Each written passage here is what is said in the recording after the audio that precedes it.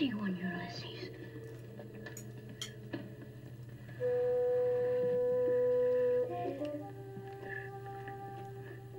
There it is. Hello BookTube, I'm Shawn the Book Maniac. Welcome back to my channel.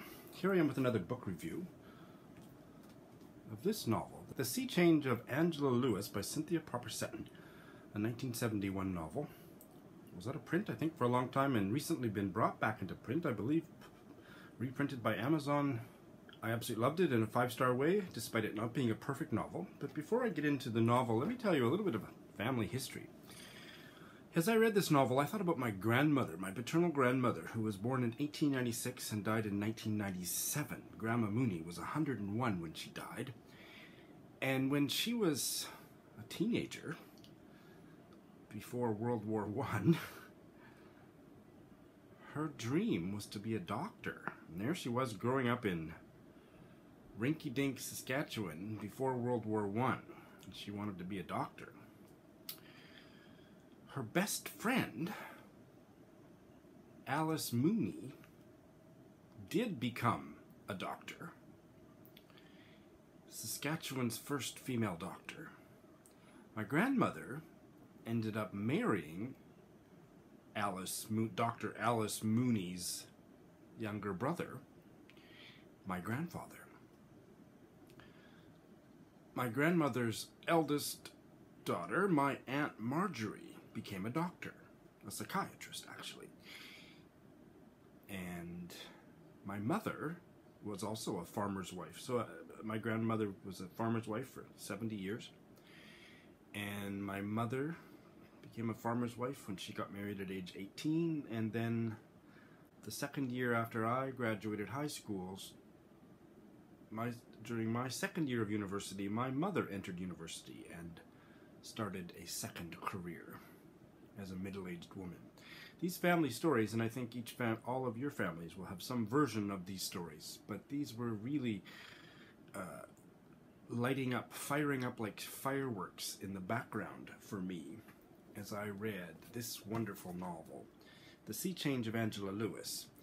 This novel opens in 1939, July 4th weekend, on Long Island. The family gathers Angela Lewes is 17. I think she might have just gotten engaged, but she's just graduating high school.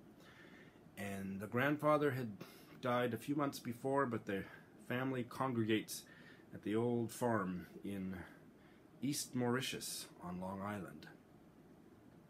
The grandma is very self-effacing. She looks much older than her 65 years and kind of fades into the background with all the her children and grandchildren around. Her daughter Caroline is much loathed within the extended family. The only people that really love her are her children, not her husband.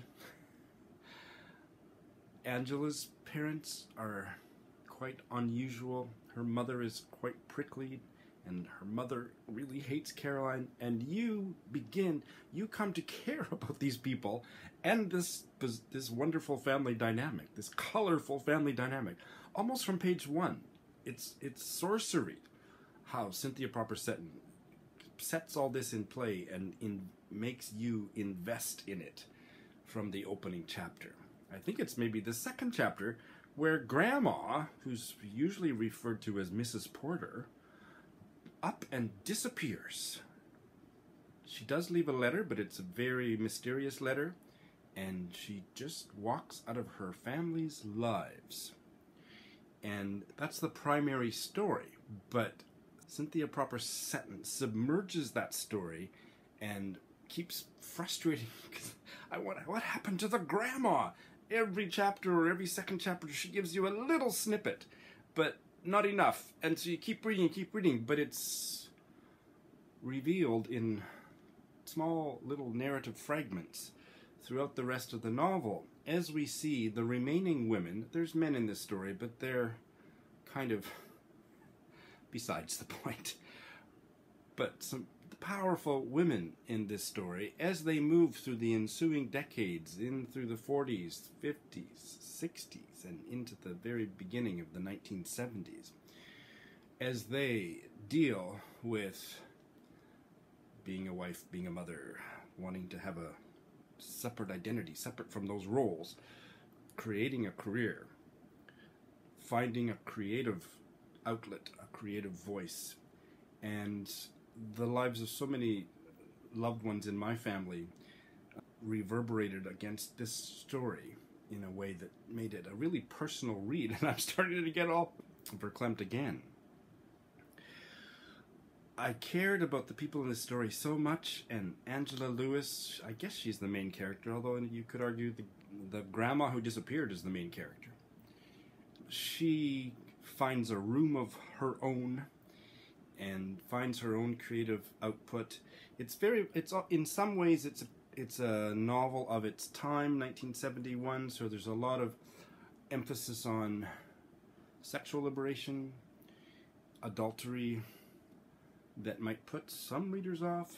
Didn't really me, but it's read very in that way. It really read like a novel of its time.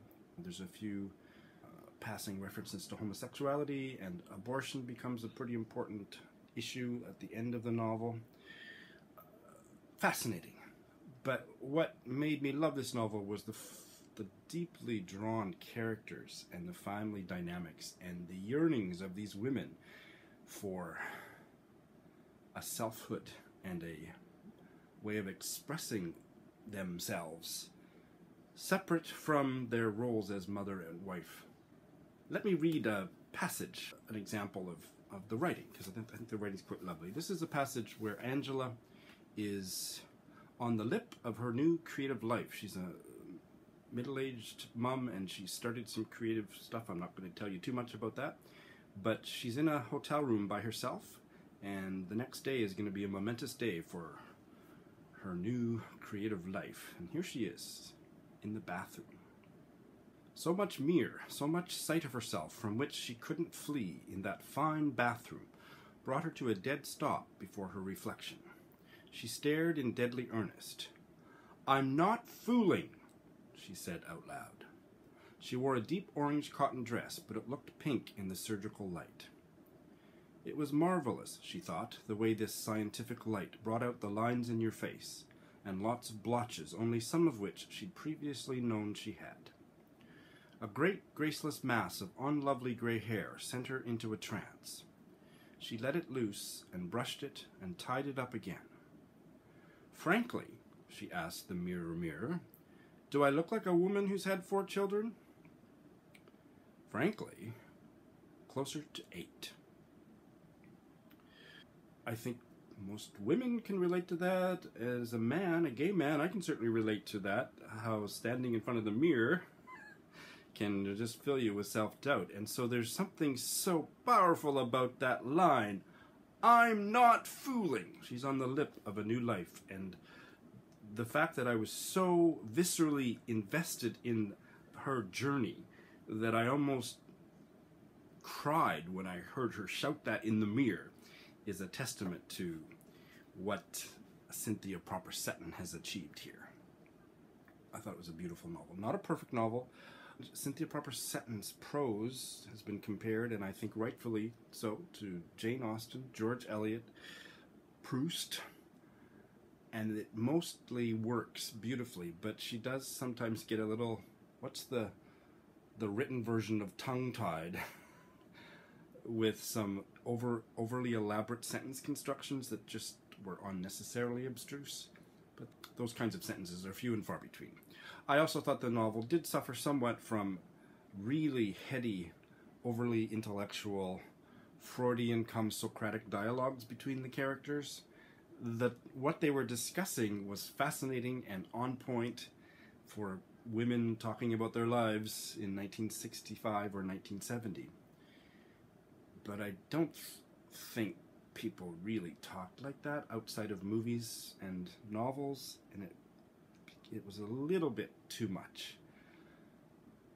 None of that, none of those qualms knocked even a smidgen of a star, even the point of that fifth star off for me. This was a five exuberant five star read for me and I hope that you will check it out because I got so carried away talking about my family story that I didn't mention at the beginning of this review. I discovered Cynthia Propper Seton in uh, Christopher Fowler's book the Book of Forgotten Authors, and he raved about how wonderful her writing was and how nobody reads her anymore, and she never got the audience she deserved. She was born in 1926 in New York City and died in 1982, very young with leukemia, and six novels published. This is the first one I've read of hers. It's not her debut. It's a buddy read with Ange of Beyond the Pages. We are going to probably buddy read all the rest of her novels. And I think there's room for improvement, but I can't improve on the five star love I have for this novel, and I'm hoping to, that this review will propel it into your hands.